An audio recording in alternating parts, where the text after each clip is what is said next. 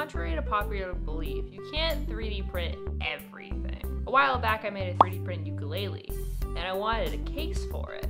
Now my printer was barely big enough to print the ukulele itself, so printing something that would be even bigger seemed out of the question unless I sliced it up a ton. So I decided just to sew one. Also, uh, sewing is cool.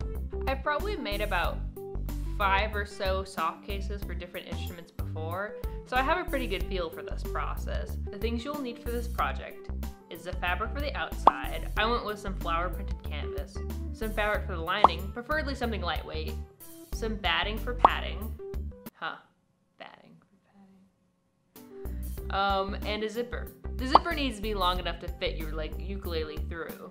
Also, you should probably pick a better fabric combo than I did. Your first step is to cut out your pieces. The case is going to have three pieces, the front, the back, and then a long strip that goes all the way around the side.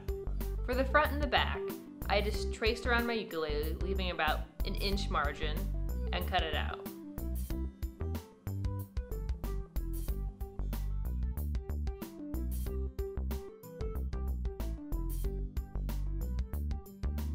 For the side, I found the widest part of my ukulele, which happened to be where the neck and body joined, and then ripped a long strip.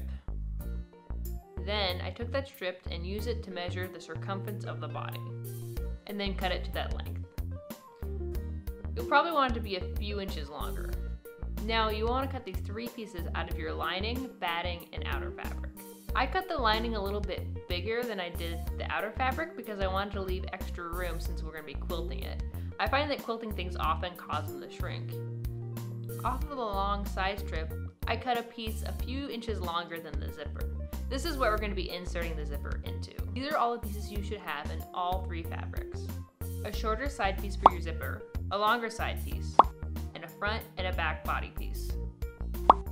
I also cut some extra squares to make handles and pockets later. Next, you want to quilt your lining to your batting. This probably takes the longest time to do.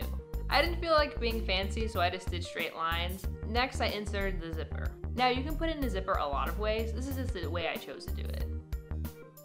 Cut a straight line the length of your zipper down the middle of both the outer and inner fabrics.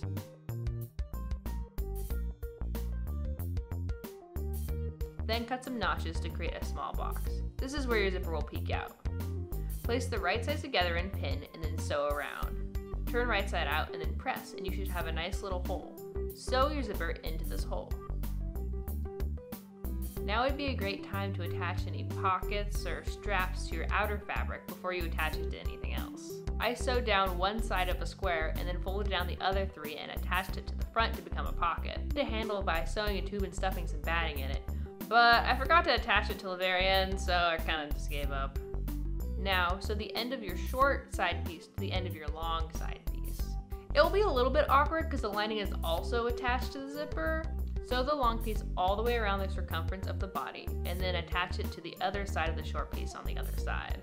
Now take your other half of your body piece and attach it to the top sewing all the way around the circumference again. Also will help if you make sure your zipper is open before you start this process.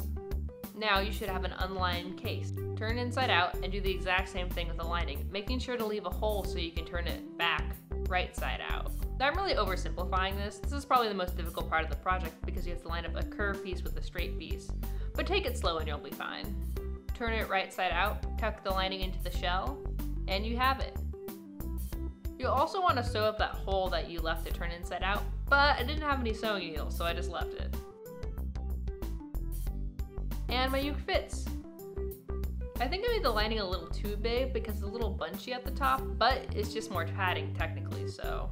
Now, obviously this doesn't really offer any serious protection, but it's something to carry it in and I'll keep it from being scratched. If anyone out there with a bigger printer wants to print me a hard case, call me.